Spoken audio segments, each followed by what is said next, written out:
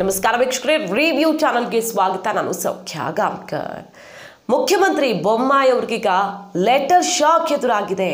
ಅನಿವಾರ್ಯವಾಗಿ ಫಿಕ್ಸ್ ಆಗಿದೆಯಲ್ಲ ಅಂತ ಮಂಗಳೂರಿಗೆ ಬಂದು ಹೋದ್ರ ಪ್ರಧಾನಿ ಮೋದಿ ಅವರು? ಇದರ ನಡುವೆನೇ ಹೈಕಮಾಂಡ್ ರಾಜ್ಯ ಬಿ ಜೆ ಪಿಯ ಮೇಲೆ, ರಾಜ್ಯ ಸರ್ಕಾರದ ಮೇಲೆ ಮುನಿಸಿಕೊಂಡಿರೋದು ಯಾಕೆ? ಅವತ್ತು ನಡ್ಡಾ ಅವರು ಹೇಳಿದ್ದ ಸಂದೇಶವನ್ನೇ ಇವತ್ತು ಮೋದಿಯವರೇ ಖುದ್ದಾಗಿ ಕೊಟ್ಟಿದ್ದಾರಾ? ಮಾಹಿತಿ ಮುಂದೆ ಇಡ್ತಾ ಇದ್ದೀವಿ ಮಿಸ್ ಮಾಡದೆ, ನಮ್ಮ ಚಾನಲ್ನ ಸಬ್ಸ್ಕ್ರೈಬ್ ಮಾಡಿ ಬೆಲ್ ಬಟನ್ ಕ್ಲಿಕ್ ಮಾಡಿದ್ರೆ ಎಲ್ಲ ಅಪ್ಡೇಟ್ಸ್ ನಿಮ್ಮ ತಲುಪತ್ತೆ. ಎಸ್ ವೀಕ್ಷಕರೇ, ಈಗ ಬಿಜೆಪಿ ಸರ್ಕಾರಕ್ಕೆ ಮತ್ತೊಂದು ಮಹಾ ಮುಜುಗರ ಎದುರಾಗಿದೆ.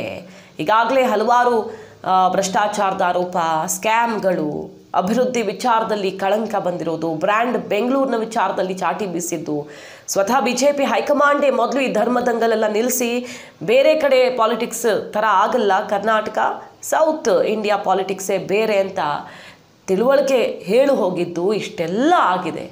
ಇದರ ನಂತರ ಮತ್ತೊಂದು ಬೆಳವಣಿಗೆ ಏನಪ್ಪ ಅಂತ ಕೇಳಿದ್ರೆ, ಮೊನ್ನೆ ಮೊನ್ನೆ ಸುರಿದಂತಹ ಮಹಾಮಳೆಯಿಂದಾಗಿ ಬೆಂಗಳೂರು, ಮಹಾನಗರಿ ಬೆಂಗಳೂರಲ್ಲಾದಂತಹ ಅಧ್ವಾನಗಳು, ಅವಾಂತರಗಳು, ಐ ಟಿ ಕಂಪ್ನಿಗಳಿಗೆ ಸಿಡಿದೆದ್ದಿವೆ ಒಂದಲ್ಲ ಎರಡಲ್ಲ ಪ್ರತಿ ಬಾರಿ ನಾವು ಅನುಭವಿಸ್ಬೇಕು. ಈ ಬಾರಿ ಸುರಿದಂಥ ಎರಡು ಮೂರು ದಿನದ ಮಳೆಗೆ ಇನ್ನೂರೈವತ್ತಕ್ಕೂ ಹೆಚ್ಚು ಕೋಟಿ ನಮಗೆ ನಷ್ಟ ಆಗಿದೆ ಅಂತ ಈಗ ಆಕ್ರೋಶ ಹೊರಹಾಕ್ತಾ ಇರೋದು.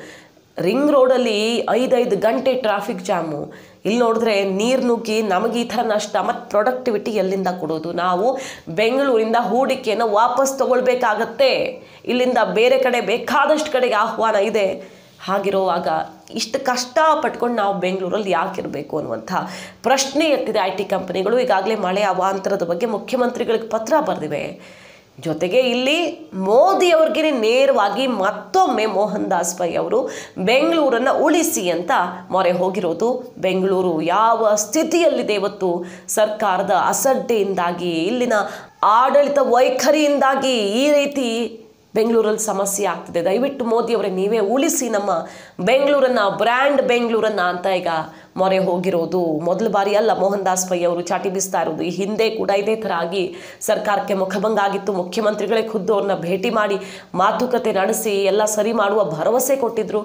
ಈ ಟೈಮಲ್ಲಿ ಜೆ ಪಿ ನಡ್ಡಾ ಅವರು ರಾಜ್ಯಕ್ಕೆ ಬಂದವರು ಮೊದಲು ಸ್ಮಾರ್ಟ್ ಸಿಟಿ ವರ್ಕ್ ಏನೇನು ಪೆಂಡಿಂಗ್ ಇದೆಯೋ ಅದೆಲ್ಲ ಮುಗಿಸಿ ಅಂತ ಬೊಮ್ಮಾಯಿ ಅವ್ರಿಗೆ ಬಿಸಿ ಮುಟ್ಟಿಸಿ ಹೋಗಿದ್ರು.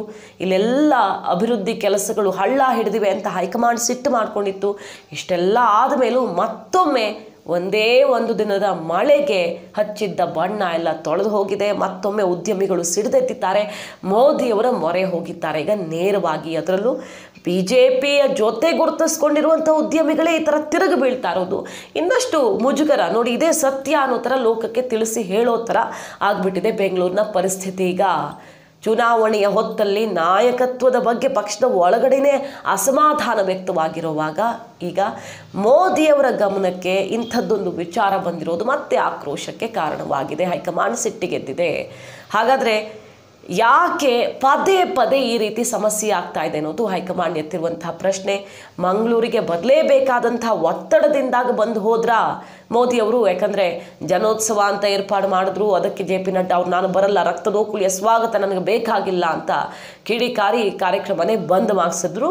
ಪ್ರವೀಣ್ ಹತ್ಯೆ ಕೇಸ್ ನಡೀತಾ ಇದ್ದ ಟೈಮ್ ಅಲ್ಲದು ಈಗ ನೋಡಿದ್ರೆ ಮೋದಿಯವರು ಬರೋ ಹೊತ್ತಲ್ಲೇ ಸರಿಯಾಗಿ ಉದ್ಯಮಿಗಳು ಸಿಡಿದೆದ್ದಿದ್ದು, ಬೇರೆ ಬೇರೆ ಸಮಸ್ಯೆಗಳು ದೆಹಲಿ ನಾಯಕರಿಗೆ ಇಲ್ಲಿ ಕಾಲಿಡೋದಕ್ಕೆ ಮುಜುಗರ ಆಗೋ ಥರದ ವಾತಾವರಣ ಸೃಷ್ಟಿಸಿದೆ. ಹಾಗಾಗಿ ಮುನಿಸಿಕೊಂಡಿದ್ದ ಮೋದಿಯವರು ಅನಿವಾರ್ಯವಾಗಿ ಬಂದು ಡಬಲ್ ಎಂಜಿನ್ ಸರ್ಕಾರ ಅಂತ ಮಾತನಾಡಿ ಹೋದ್ರ? ಹಾಗಾದರೆ ಅನ್ನೋ ಮಾತು ಈಗ ಕೇಳಿ ಬರ್ತಾ ಇದೆ.